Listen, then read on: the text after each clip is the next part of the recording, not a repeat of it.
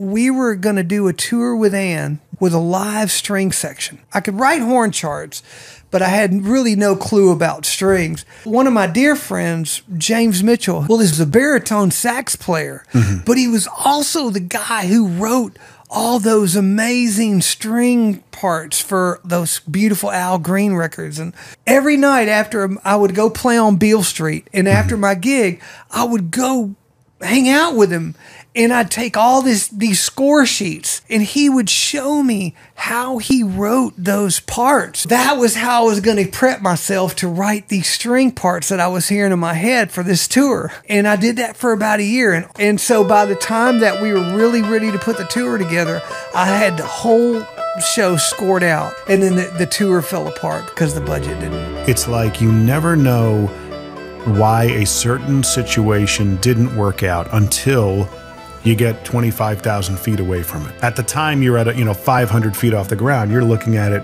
with you know your hand on your face kind of thing. That must have been devastating to hear that the tour fell apart, right?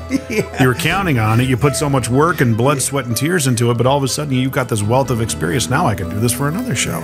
what has got me so far is I had this ability to always take a terrible situation and look at the bright side. Beautiful. Always, mm. man. Mm. As soon as the tour didn't didn't happen, man, I just said, think about what you've got. Think about the now. Look at all these score sheets and know that you'll be able to use them someday for something.